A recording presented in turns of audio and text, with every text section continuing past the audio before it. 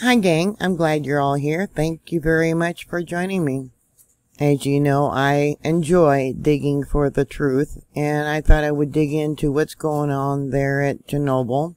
Now that word has gotten out about the loss of power to keep the wet storage pool for the 21,000 fuel assemblies cool there in Ukraine.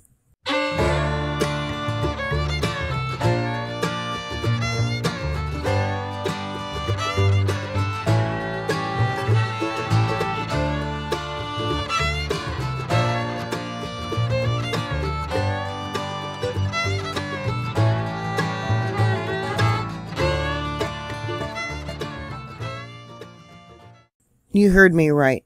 21,000 fuel assemblies are at jeopardy of heating up and going into meltdown. The United Nations nuclear watchdog has issued a statement trying to calm concerns that a power blackout at the defunct Chernobyl nuclear power plant could send radioactive par particles into the air across Europe what he's pointing at is unit number four. That's the one that had the massive explosion in 1986.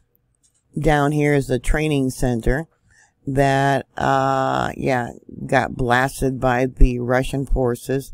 And somehow they cut the power to the cooling towers. Let me show you the cooling, well, not the cooling towers, but the cooling tanks. This is the building right here.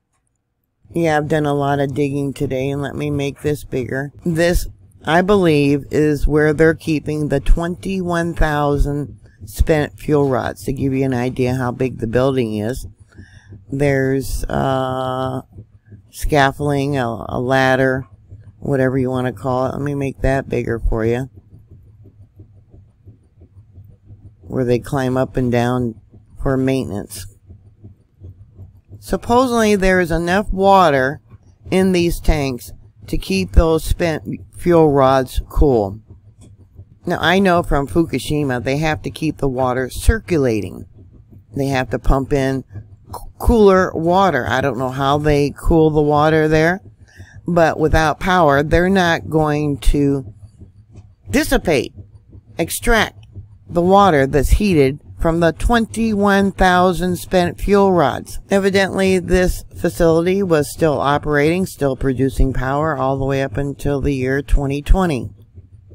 It takes over 20 years for spent fuel rods to be cooled down and then put into what they call dry storage.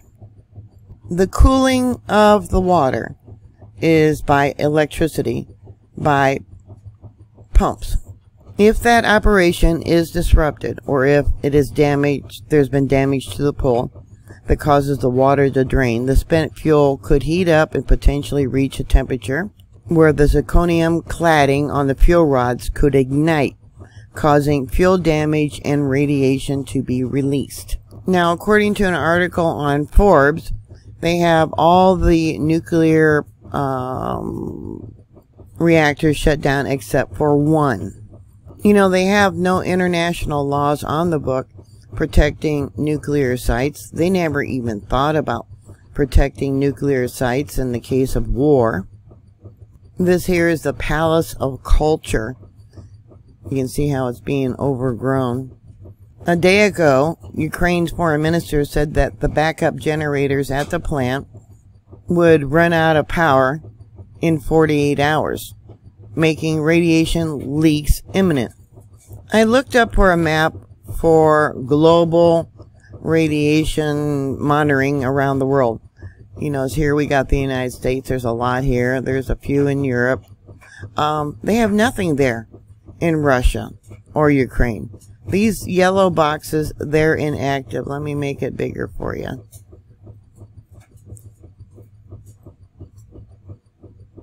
The red ones are closed down. Here we have an image of one of the hotels in that town that's closed down. You can see it's overgrown.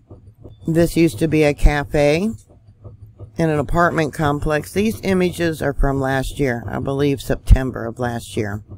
The capital city is just 81 miles from this nuclear power plant. And just 12 miles from the border of Belarus. This is another business that used to be there. Here you can see how the road's been overgrown and we have apartment complexes over here. The Chernobyl plant used four Soviet-style designs, uh, nuclear reactors, a design that's now universally recognized as inherently flawed. The RBMK reactors were of a pressure tube design that used to have enriched uranium dioxide fuel to heat the water, creating steam that drives the reactor's turbines and then generated the electricity. Here's one of the tour groups from last year.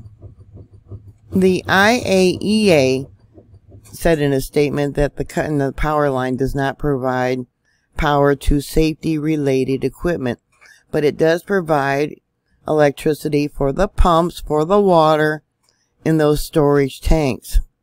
They claim due to the time elapsed since 1986 Chernobyl accident, the heat load of the spent fuel storage pool and the volume of cooling water contained in the pools is efficient enough to renew, remove the heat without the need for electrical supply. If that was true, then they never needed the pumps to begin with.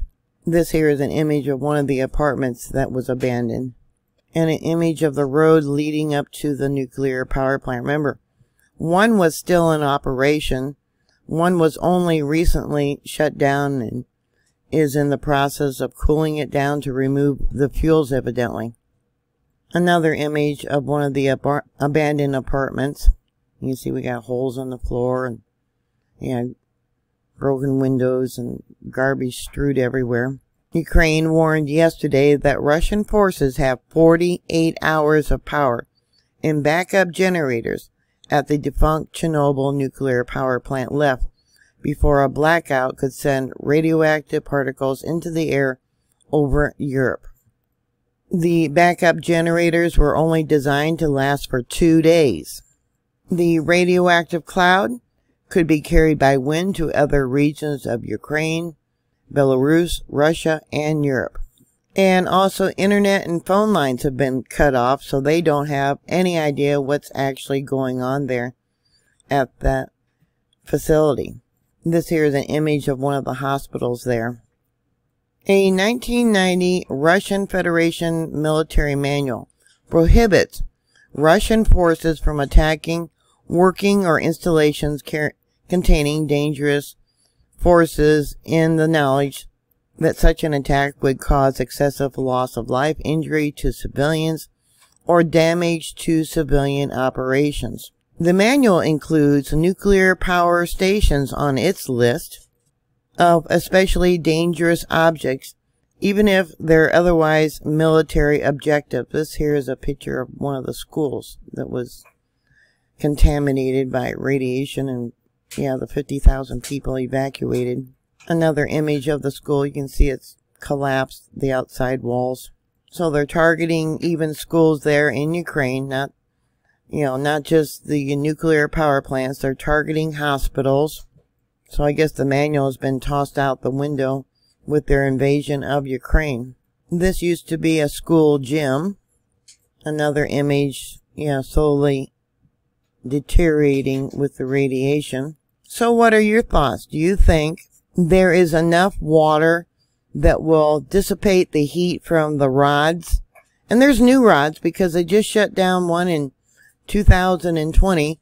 And if it is holding rods from the one that they just recently shut down, and it takes over 20 years for them to cool, and there's evidently 20,000 21,000 rods still waiting to be cooled down in this building to go to dry storage. Do you think there's enough water there to adequately dissipate the heat that those fuel rods are putting out? What are your thoughts? Please put those comments down below. Thank you very much for watching. Thank you for subscribing. Please stay safe and I'll talk to you later. God bless you. Bye.